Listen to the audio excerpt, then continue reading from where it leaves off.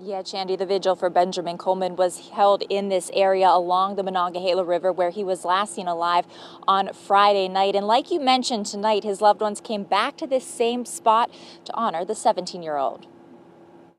My brother, he, he's such a big part of my life. Like he was the reason I was so I'm so goofy. Along with close family and friends, Keon Coleman shared memories of his little brother, Benjamin Coleman, known as Benny.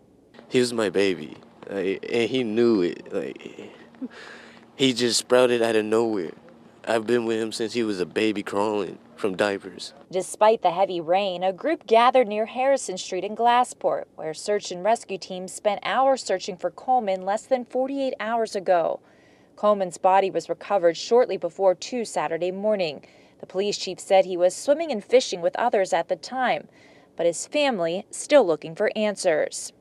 He never knew how to swim. My boy was he, he just don't fish, swim. Sunday night, they focused on celebrating his short life. Keon said Benny had just turned 17.